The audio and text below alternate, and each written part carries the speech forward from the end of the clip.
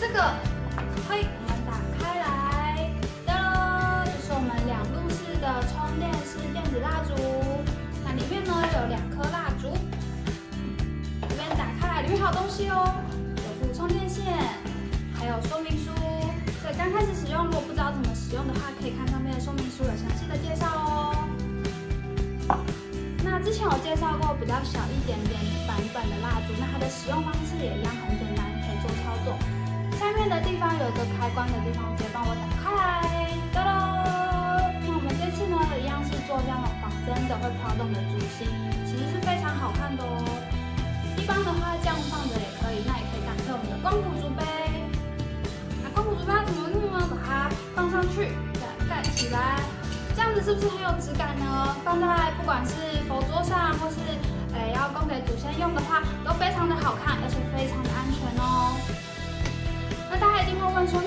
要怎么充电呢？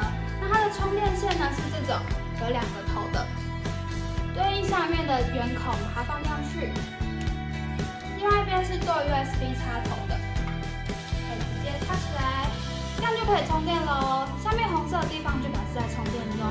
那我们一边充电的时候，它也可以做使用。不过你们可能会想说说，嗯，这样子的话好像比较没办法把它放平哎，没有关系，我们有车另外一个是四路组的。那四路组的话，它就会长这样。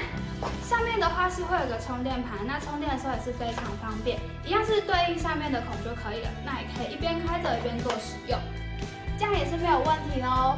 每次充电完毕呢，可以用两到三天的时间，所以其实都还蛮方便的。这边有一个示范，看充饱电的话就会是蓝色的哦。